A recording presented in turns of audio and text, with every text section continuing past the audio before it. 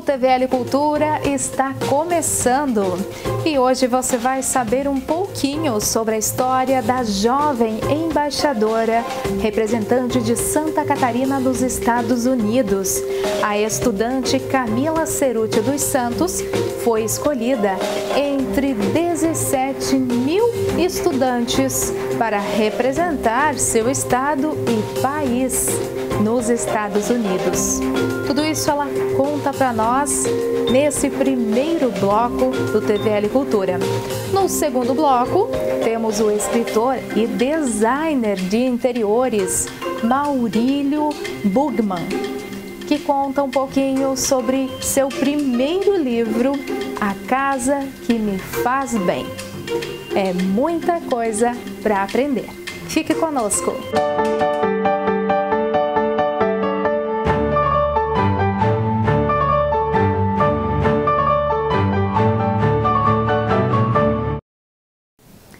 jovem e ela é embaixadora. É uma estudante de 18 anos.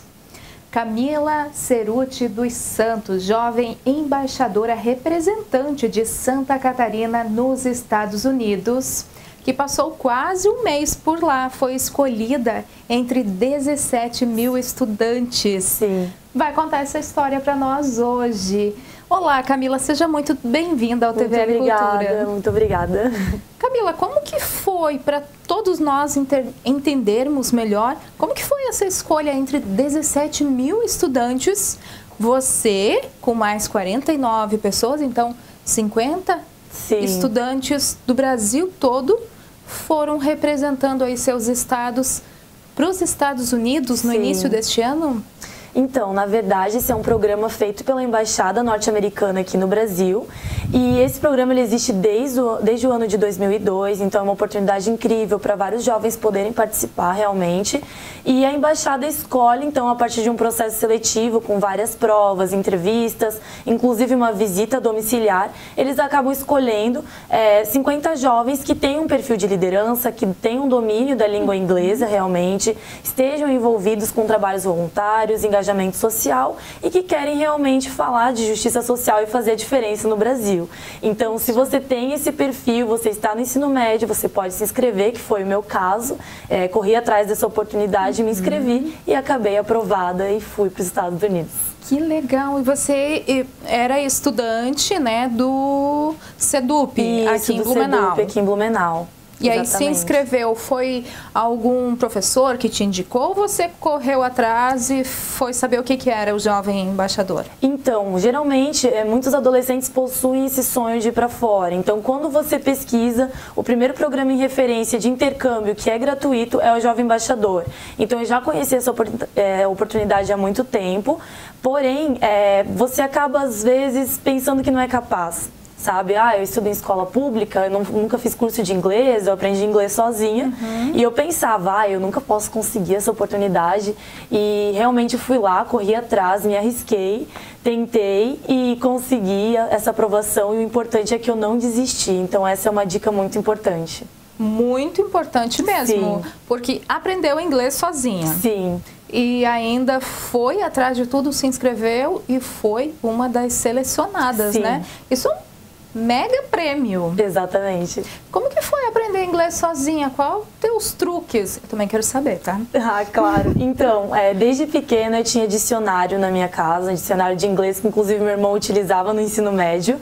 E isso é a chave, sabe? Se você tem um filho, você tem que deixar ele ter essa curiosidade, pegar uhum. livro, abrir. E eu abri o dicionário de inglês e vi as palavras e eu achava incrível conseguir falar um outro idioma. Então, como a minha família nunca teve muita condição, eu comecei a assistir série, eu sempre assisti legendado ou totalmente em inglês, muita música. É, comecei a ler artigos para estudar para a escola em inglês e algumas matérias também de jornal, porque muitas coisas, é, existe muita tendência nos jornalismo, não só no Brasil, em todo lugar, Sim. mas nos Estados Unidos eles têm uma tendência a escrever de uma forma mais clara. Então eu sempre lia matérias de jornal em inglês para aprender um pouquinho da língua e também para me informar melhor sobre esses aspectos. Então eu fui aprendendo. Maravilha! e agora recebeu um prêmio foi viajar no dia 12 de janeiro, é isso? Para os Estados Unidos, sim, mas desde o dia 8 eu já estava em Brasília ah. para conseguir o visto, uhum. toda a questão de orientação pré-partida, porque é um choque cultural bem grande. E nos conta então como que foi essa experiência de quase um mês lá, porque Sim. você foi viajar em torno de 12, então, de dia, janeiro é, e voltou exatamente. dia 2, 3 de uhum, fevereiro, isso? Foi quase um mês, sim. Então, é, o choque cultural é bem grande, porque o clima é totalmente diferente. Aqui é verão e lá é inverno. Sim. Então, e frio. Sim, nós já pegamos de cara menos 21 graus. Caramba. Celsius. Então foi uma coisa assim bem de cara, a gente já pegou congelando. E assim, muito diferente. Aqui a gente tem inverno, mas tinham pessoas comigo que vêm do norte, do nordeste, eles nunca viram inverno na vida. Então é um choque grande já pela temperatura. É a questão do inglês também, porque uma coisa é você aprender sozinho e tal. Você chega lá, eles já falam super rápido e já são nativos na língua, né? Sim. né? Então é um choque grande também. Mas o que mais me impactou foi a questão do nacionalismo, do respeito que eles têm. Eu pensei que eles teriam um pouco de preconceito pelo fato de eu não ser fluente, 100% uhum. fluente, uhum. claro. É, mas eles têm muito respeito, muita calma, muita paciência. É, um nacionalismo muito grande, eles realmente amam o país. E eu pude perceber também que muitas vezes nós não valorizamos coisas aqui no Brasil que são importantes realmente de serem valorizadas, como por exemplo o SUS, é, o ensino público universitário, eles não possuem isso. Claro, nós podemos dizer que aqui não tem uma organização tão grande, mas então é, nós devemos parar de reclamar disso e agir realmente para a mudança.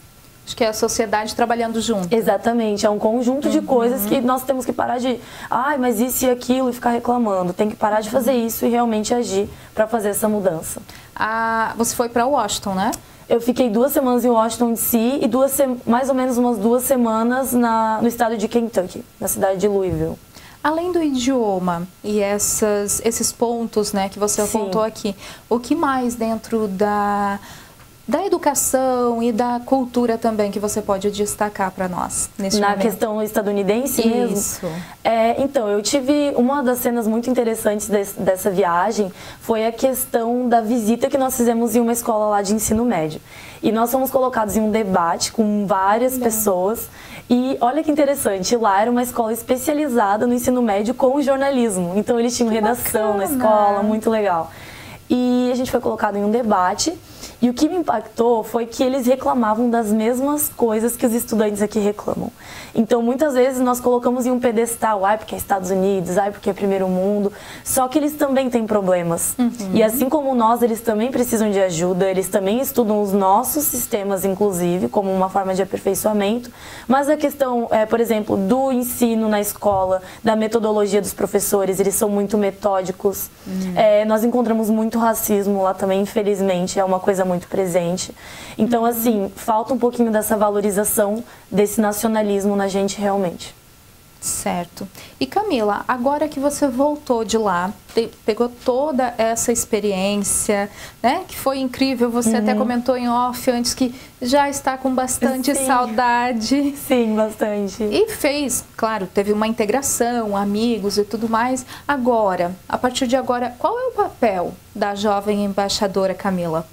Então, enquanto eu estava em Washington DC, eu recebi, digamos que uma missão, é, que é divulgar esse programa, fazer com que outros jovens possam ter essa oportunidade que, sinceramente, mudou a minha vida. Eu sou outra pessoa a partir de agora, é, desde que a viagem uhum. acabou. Então, eu tenho essa missão de continuar divulgando o projeto, é claro. É, tanto que amanhã já vou dar palestra em algumas escolas aqui de Blumenau. Uhum. Mês que vem estarei em Curitiba também fazendo uma palestra mas acima de tudo é levar aquele sentimento de voluntarismo, de justiça social, de continuar lutando pela educação no Brasil, de fazer a diferença, de não desistir dos seus sonhos, assim como eu fiz. E eu acredito que muitos outros jovens poderiam ter feito se eles tivessem tido uma oportunidade dessa.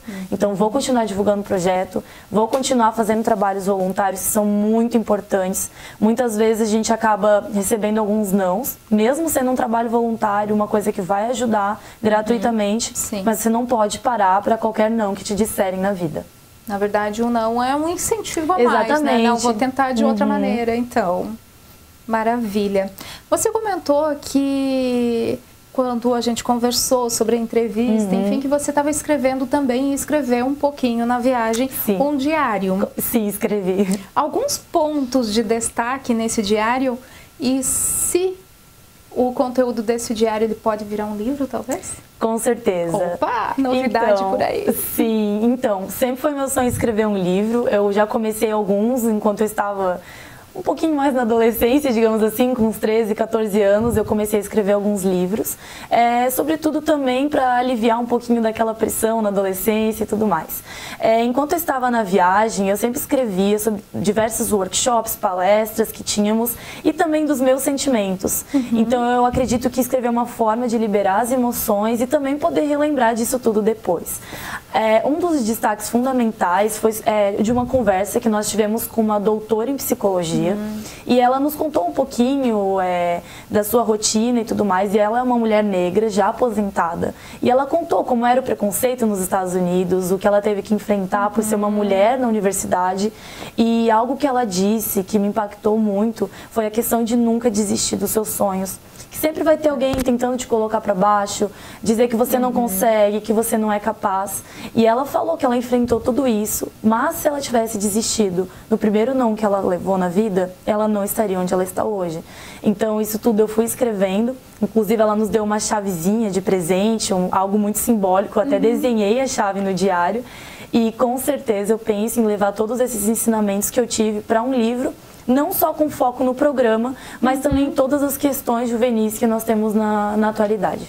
Importante, né? Essa autoestima e esse, não, eu vou conseguir também, Sim. principalmente para as mulheres, né? Que a gente sabe que ainda hoje é um pouquinho Sim. mais difícil. Uhum, infelizmente. Camila, a gente está terminando o nosso tempinho aqui. Eu sei que tem bastante coisa ainda para você nos contar. Sim. Afinal, foi quase um mês lá, Sim. toda essa experiência. Mas vamos terminar com uma mensagem positiva aí para a mulherada também, principalmente porque estamos aí, né, chegando no Dia Internacional da Mulher, mês da mulher, Sim. 8 de março. São várias lembranças, várias lutas que foram vencidas, né? uhum. né? Então, podemos terminar com uma mensagem tua como jovem embaixadora representando Santa Catarina nos Estados Unidos? Então, primeiramente, para os jovens, é, não existe nenhum desafio que vai ser maior do que algum sonho seu. Então, jamais desista de lutar, que é algo que eu venho falando sempre. Muitas vezes as pessoas não irão entender os seus sonhos, as suas vontades, as suas conquistas, mas você precisa fazer isso por si mesmo, como uma prova de amor por você. E sobre empoderamento feminino, eu penso que é algo extremamente necessário, até porque nós não temos que ter um sexo maior que o outro, e sim nós temos que ter uma igualdade entre os sexos. Se um um homem pode, uma mulher também pode fazer, e essa é a maior prova de amor que nós podemos ter por nós mesmos. Então, nesse mês das mulheres, eu quero dizer, mulheres, nós somos maravilhosas, homens, vocês também são maravilhosos e nós podemos sim lutar juntos pela humanidade. Maravilhosa é você. E assim, com essa reflexão, né, com essa mensagem linda da Camila, a gente vai terminando esse primeiro bloco. Vamos para um breve intervalo e já voltamos, não saia daí.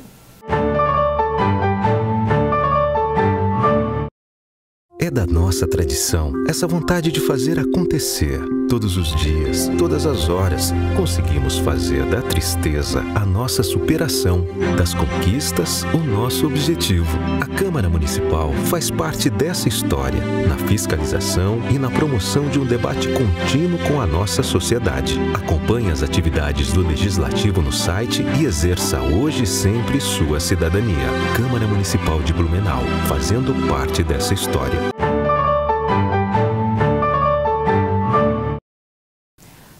Casa que Me Faz Bem.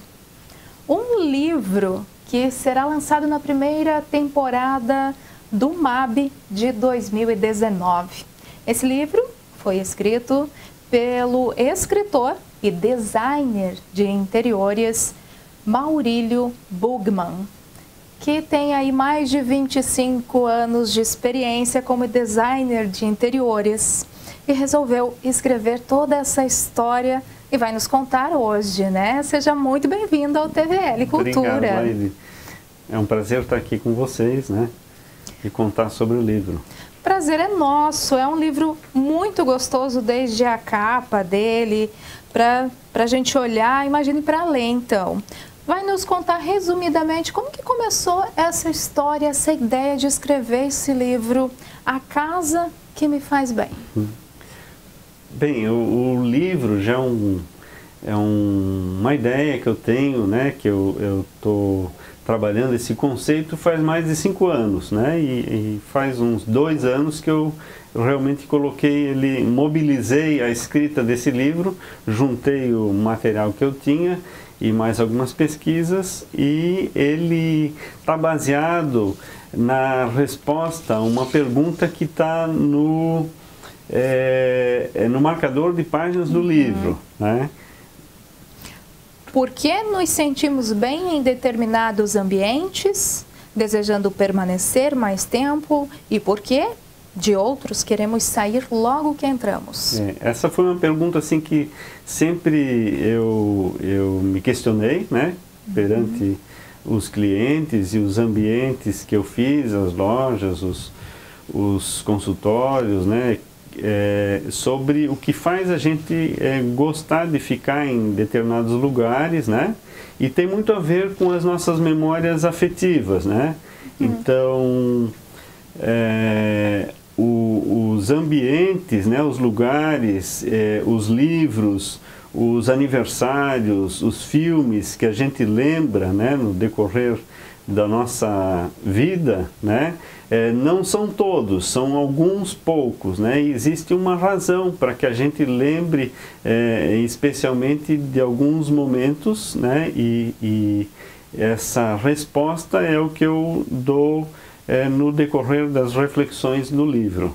E tem muito isso, né? De a gente entrar em determinados locais e não gostar e o ambiente ser lindo e tudo mais, mas não gostar. E tem outros já que a gente se sente muito bem, por mais às vezes simples ou pequeno que seja, enfim, mas a gente se sente bem e a, a gente na maioria das vezes não sabe explicar o porquê. É, sim, é, um, é isso que acontece. A gente não sabe explicar quais as razões, né? É, é claro, é uma composição, uhum. é um uhum. conjunto de itens, né? Existem questões funcionais, existem questões estéticas, né? Cores, é, objetos, móveis, os revestimentos, é, a iluminação, né? Tudo isso, o, os aromas, né? Mas existe uma questão é, de significado, né? Que, uhum. que é muito forte, né? E, e essa é uma questão assim que eu dou bastante foco no livro. Certo. E Maurílio, como que foi publicar o livro? Quais foram os desafios? Faz cinco anos que você começou a pensar no projeto e dois anos que você realmente colocou em prática. Quais foram os desafios da publicação desse teu primeiro livro? É, foi um trabalho é, bastante interessante, no sentido que é, não foi um livro. É, é eu sou o autor, mas uhum. eu contei com o apoio né, de vários coautores, de 36 coautores, que têm suas histórias é, na segunda metade do livro, uhum. sobre as suas casas de infância. E é, eu publiquei o livro através do sistema de financiamento coletivo, né? utilizei a plataforma do Catarse, uhum. né? e muitas pessoas, mais de 300 pessoas da região, de várias partes do Brasil, colaboraram com a publicação e várias empresas né, também é, tornaram esse livro possível uhum. e assim eu consegui publicar esse livro. Maravilha. No livro também, numa segunda parte, aqui tem os de depoimentos, né, cartas, inclusive, também de quem participou, né? Mas essa capa tá muito bonita. Eu até vou pedir para você segurar ele também, que o Rafa Sim. vai pegar naquela câmera ali, para você explicar essa capa para nós, o que, que ela significa. Tem uma portinha muito bonita aqui, tem um, um caracol, né, que você estava me contando antes nos bastidores. Então, nos explica o tá. design tá. dessa, é. dessa capa. Então, o, o design gráfico do livro, ele foi o meu TCC do curso de design da FURB, né? Uhum. Ele foi um, o TCC que tirou nota 10 e é, toda a composição, né, definição, a diagramação, a definição das fontes, a estruturação dos textos fazem parte e a capa fazem parte desse design gráfico. Uhum. É, a questão da porta, né? É, e uma, uma a portinha, portinha, que isso é uma coisa ali. bem inusitada num livro, né? Bem As legal. janelas também estão abertas, né? Aham. A ideia é que essa porta é um convite para o leitor entrar nessa casa que me faz bem Entendi. e mas ela é muito mais do que isso. Ela é uma abertura para um túnel do tempo, que é esse significado por essa espiral, o túnel do tempo das nossas memórias afetivas. Então, esse é o pano de fundo do livro. É, e o mascote do livro, aqui no caso da capa, ele está no lugar do tradicional galo, né? Eu Ah, coloquei sim. o caracol, que é o Ali mascote do cima, livro, bem que. Aham. na sua concha ele tem uma espiral, também o símbolo de um túnel do tempo, né? Uhum. E o caracol, ele foi escolhido como mascote desse livro porque além dele levar a sua casa sempre junto, Uhum. e essa é a premissa do livro, né? A nossa casa é a nossa terceira pele, né? A Sim. pele, a, a- a nossa roupa, segunda, é, Segundo, e a terceira pele, a nossa casa. Nossa casa. Então, ele, além de tudo, ele caminha de forma slow, né? Observando as coisas à sua volta, captando as coisas legais que muitas vezes a gente passa apressado no nosso dia a dia e não observa, e ele também deixa uma marca por onde ele passa, e a ideia da gente deixar a nossa marca na nossa vida e nas coisas que a gente faz para não passar em branco, né? Então, esse foi o, a ideia da escolha do, do caracol e aqui a gente tem uma casa bem tradicional, né? Isso não quer dizer que essa ideia, esse conceito do livro não vale também para um apartamento ou um outro tipo de moradia, não importa, pode ser até uma cabana do morador de rua. A ideia contida no livro, né? Vale para qualquer tipo de lar. Né? Certo. É, é cheio de detalhes e cada detalhe então tem um significado. É, todos e a eles estão história de tudo isso tá ali dentro. Sim. Todo mundo está convidado então para Entrar nessa casa. entrar nesta casa. Maravilha. O lançamento então já teve um lançamento. Teve, é, um, teve alguns lançamentos, né? Uhum. Um lançamento é, na livraria Blue Livro, né? No, Uhum. no final do ano. Teve no Hotel Fazenda, teve na Porto Belo, Certo. que é a, uma das, é, a principal apoiadora do livro, o Porto Belo Aham. Shop, aqui de Blumenau. Certo. Teve na Spengler, teve em vários, eh, várias lojas né, que pertencem ao núcleo eh, catarinense de decoração. E agora nós vamos ter na livraria catarinense do Neumarket e no, na Fundação Cultural. na abertura da primeira temporada, né, de exposições do MAB na próxima semana. A gente, para ir finalizando a nossa conversa, tem muita coisa ainda. Eu estou morrendo de curiosidade. eu quero muito ler esse livro, até porque são a nossa casa, como o senhor falou, são memórias afetivas também. A gente tem que ter, se sentir, né, com muito aconchego. Eu acho que aí também aguça a criatividade da pessoa para se ela quer trabalhar, quer estudar em casa. E também, né, a casa que me faz bem, eu tenho que estar bem com a minha família. É mais ou menos essa ideia, né? É essa a ideia. É essa a ideia. Essa é a essência da ideia, né? Ele não é um livro técnico, né? Ele é um livro é, poético, né? De Uhum. reflexões, mas ele, ele leva a gente a, a, a pensar de maneira mais profunda sobre o que, que a gente quer sentir na, na, nas nossas casas. Então, Uhum. algo que eu sempre pergunto para os clientes, independente se é um ambiente comercial, ou um apartamento, ou uma residência, é que sensações vocês querem ter, ou os clientes de vocês, né, vocês pretendem que eles tenham eh, nesse lugar. Né? Então, esse é o ponto-chave do livro, né? que sensações que a gente realmente quer ter na nossa casa, né? e se a gente está trazendo isso para a nossa casa. Com essa experiência de 25 anos ou mais, né, aí nessa área como designer, né, de interiores, também o senhor aí é proprietário do Bug Studio, projetos criativos, né?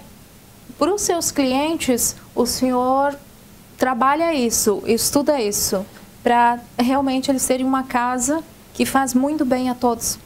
Sim, a gente tem sido chamado pelos clientes, é, principalmente por esse, por, pelo uso desse conceito, né? É, é, independente né, do tipo de obra, mas o, o, a ideia da casa que me faz bem sempre está presente em todos os projetos. Né? No, no, último capítulo eu até conto sobre um, uma reforma de uma uhum. casa e que isso aconteceu de forma muito forte e significativa. Né? Maravilha. Então agora para encerrar a gente está praticamente sem tempo aqui, mas aonde que podemos encontrar o seu livro para comprar? Então, o livro ele pode ser encontrado né, na, na é, Livraria Catarinense, na Blue Livro, na Porto Belo Shop, na Spengler, na Senhora Farinha é, e, e, no Hotel Fazenda, em Gaspar, né, e em várias outras lojas de decoração. É, é, ele pode ser encontrado. Ok. Tem um site também para contato, um telefone? Sim, é, é, em todas as redes sociais, se procurar sobre a Casa que Me Faz Bem, né, no Facebook, uhum. Instagram, no YouTube, né, vou, vai aparecer o, o contato uhum. né, e vários vídeos sobre o livro. E o, o, o, podem também entrar em contato direto né, comigo no 9985-1985. Então, Maurílio, para encerrar, qual seria a mensagem aqui para os nossos telespectadores? Quando não está alguma coisa legal em casa, então tem que mudar? Sim, eu gostaria de ler uma frase aqui que está na introdução do livro que resume bem a essência do livro e responde essa tua pergunta. Maravilha. Olha, é, o objetivo essencial desse livro é instigar o leitor a retornar à sua casa primordial e escolher deliberadamente trazer para junto de si aquilo que lhe faz bem. Dessa forma, Independente de onde estivermos, se exercermos nossa liberdade de escolha com sabedoria e serenidade, se o nosso coração estiver em paz, nós estaremos em casa. Maravilha. Coração em paz, então vamos trabalhar isso. e um convite a todos, né, para conhecerem um pouco mais aí a casa que me faz bem, de Maurílio Bugman escritor e designer de interiores. Muito obrigada Obrigado, pela participação aqui conosco. Obrigado. A gente vai então encerrando por aqui. Fica o convite para todos, uma boa leitura. Obrigada pela audiência, fiquem todos com Deus e até o próximo programa.